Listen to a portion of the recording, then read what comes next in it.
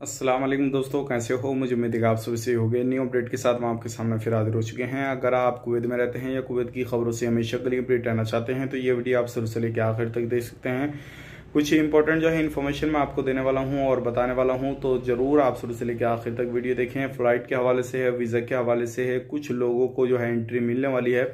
उनके हवाले से जिन लोगों के वीज़ा एक्सपायर हो चुके हैं, अभी छुट्टी आए हुए थे कोरोना वायरस की महामारी की वजह से, जो रह चुके हैं। तो उनके बारे में क्या ख्याल है, क्या ख्याल नहीं है तो ज़रूर हम पूरी डिटेल्स के बारे में बात करेंगे। तो चलिए फिर बिना देरी के वीडियो शुरू करते हैं।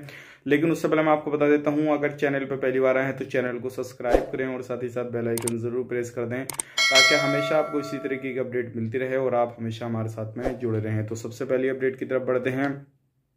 जो बड़ी अपडेट आ रही है, कोरोना वायरस की महामारी की वजह से आ रही है, और ये कोरोना वायरस की पिछले 24 घंटे की रिपोर्ट है, जो कि उसके बारे में बात कर लेते हैं। 260 नए केसेस आए हैं टोटल केसेस एक लाख उनचास हज़ार दो सौ सतहत्तर हो चुके हैं और किसी भी बंदे की इंशाल्लाह मौत नहीं हुई है कुवैत के अंदर। और ये बड़ी खुशी की बात है कि अभी जो है कुवैत के अंदर इस चीज़ पे काबू पा चुके हैं कुवैत गवर्नमेंट। और 926 की टोटल मौत हो चुकी है कोविड 19 से। बात करते हैं, रिकवरी की दो सौ बत्तीस रिकवरी हुई है और एक लाख पैंतालीस हज़ार एक सौ तीस जो है टोटल रिकवरी हो चुकी है। बात करते हैं, अभी भी जो सीरियस केस हैं वो हैं उनतालीस। और अभी भी जो एक्टिव केस हैं, तीन हज़ार दो सौ इकतीस हैं। टेस्ट की बात करें तो टेस्ट जो हो चुके हैं, वो तीन हज़ार दो सौ नब्बे हो चुके हैं। और टोटल टेस्ट की बात करें तो बारह लाख से अधिक जो है टोटल कुवैत के अंदर टेस्ट हो चुके हैं। ये है पिछले चौबीस घंटे की कोरोना वायरस रिपोर्ट। अगर आप कुवैत के अंदर किसी भी तरीके से, किसी भी पर्पज से रहते हैं तो आप ध्यान रखें, सावधानी बरतें और कहीं पर भी जाते हैं तो मास्क वगैरह का ज़रूर यूज़ करें ताकि आपको कोई भी परेशानी का सामना ना करना पड़े और आप हमेशा सही सलामत कुवैत के अंदर रहते रहें।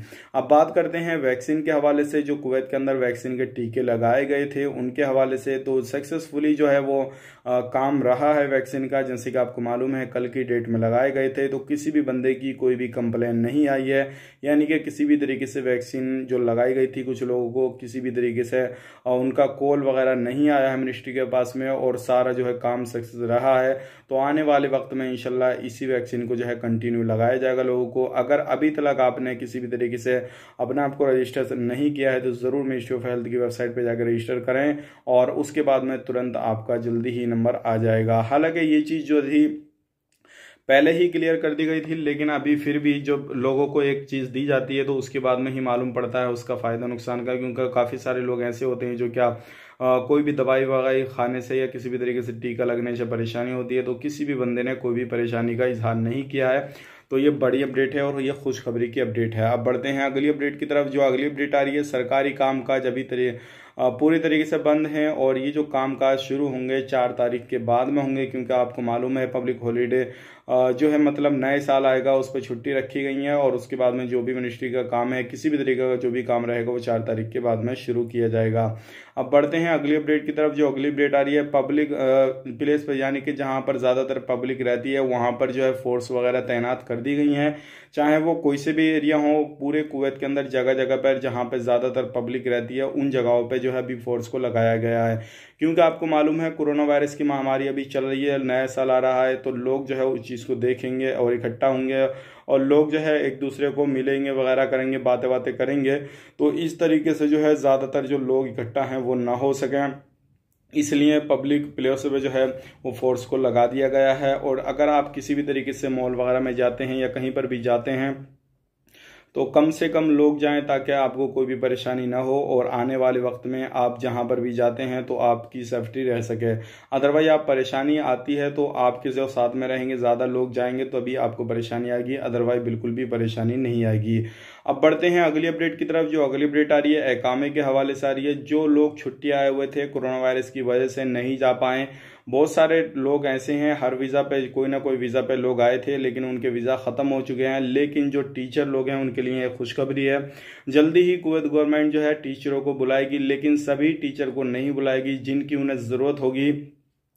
क्योंकि आने वाले वक्त में जल्दी ही स्कूलों को ओपन किया जाएगा। जिनकी उन्हें ज़रूरत होगी, उन्हीं टीचर को कॉन्टैक्ट किया जाएगा और उनके एकामे को रिन्यू नहीं किया जाएगा, उनको ओनली एंट्री वीज़ा दिया जाएगा और वहाँ पर जाके उनका जो है ट्रांसफ़र कर दिया जाएगा दूसरे वीज़ा में। तो ये थी, अब बड़ी अपडेट सोचेगा आप लोगों तक शेयर की जाए, क्योंकि काफ़ी सारे लोग बोल रहे थे, हम टीचर हैं तो क्या हम वापस जा सकते हैं या नहीं जा सकते हैं? हमारा वीज़ा एक्सपायर हो चुका है।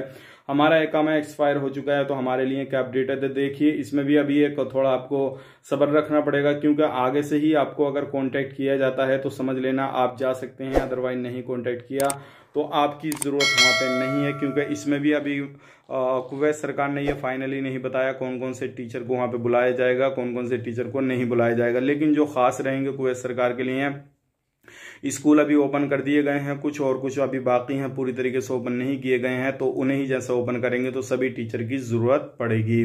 तो ये थी अपडेट, मैंने सोचा आप लोगों तक शेयर की जाए। अब बढ़ते हैं अगली अपडेट की तरफ़, जो अगली अपडेट आ रही है, फ़्लाइट के हवाले से आ रही है। काफ़ी सारे लोग फ़्लाइट के हवाले से भी अपडेट मालूम कर रहे हैं कि फ़्लाइट कब चालू होगी, कब नहीं चालू होगी तो मैं आपको बता देता हूँ, अभी पूरा ये दो चार दिन की बात हो रहे हैं, जैसे ही ये ख़त्म हो जाते हैं तो नए साल पे क्या अपडेट आती है, निकल के क्या नहीं आती है। तभी ये मालूम पड़ेगा कि चालू किया जाएगा या इसको आगे और आगे इसी तरीके से दस पाँच दिन के लिए बढ़ाया जाएगा। लेकिन जो लोग दुबई के अंदर क्वारंटीन हुए हैं, अभी तक कुवैत गवर्नमेंट ने इनके बारे में कुछ भी नहीं सोचा है। और उम्मीद यही की जा सकती है कि जल्द से जल्द जो है कुवैत गवर्नमेंट इनके बारे में सोचे। जो लोग क्वारंटीन वहाँ पे रहे हुए हैं, उनके लिए कोई स्पेशल फ़्लाइट भेजे या फिर स्पेशल फ़्लाइट को जो है इजाज़त दे कि वो कुवैत के अंदर एंट्री कर सके और उन लोगों को ला सके। काफ़ी सारे लोगों के मैं कमेंट देखता हूँ, जो कि दुबई के अंदर क्वारंटीन है, उनका टाइम भी पूरा हो चुका है और कुछ लोगों का भी टाइम होने वाला है, एक दो दिन में हो जाएगा।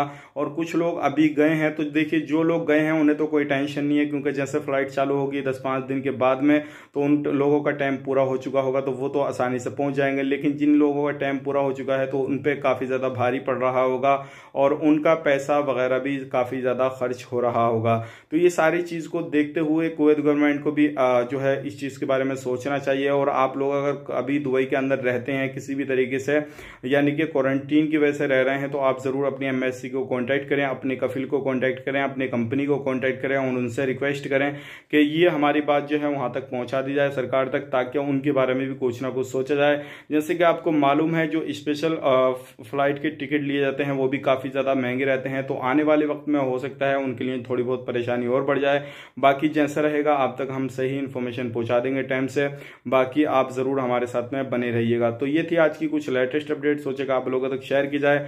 बाकी आप अपना ध्यान ज़रूर रखिएगा, कहीं पर भी रहते हैं तो आपने जो भी रूल रेगुलेशन है कुवैत सरकार के, उनको फॉलो करते रहिएगा, क्योंकि अभी जितनी भी अरबी कंट्रियाँ हैं, वो ज़्यादातर जो है लोगों को निकाल रही हैं, जो बड़ी बड़ी पोस्टों पर हैं। तो खास करके आप अगर किसी भी बड़ी पोस्ट पर हैं, जो कि सैलरी आपको अच्छी प्रोवाइड की जाती है तो आपको ध्यान रखना है, नहीं तो आपकी जॉब खतरे में हो सकती है और आपको भी कुवैत से या सऊदी अरब से कहीं से भी निकाला जा सकता है। क्योंकि इस तरीके से अलग अलग जगहों से भी निकाला जा रहा है। तो चलिए फिर मिलेंगे इस नेक्स्ट वीडियो में। उम्मीद करता हूँ ये सारी इन्फॉर्मेशन आपको पसंद आई होगी। तब तक के लिए आप अपना ख्याल रखें, अपनी फैमिली वालों का ख्याल रखें। Take care bye bye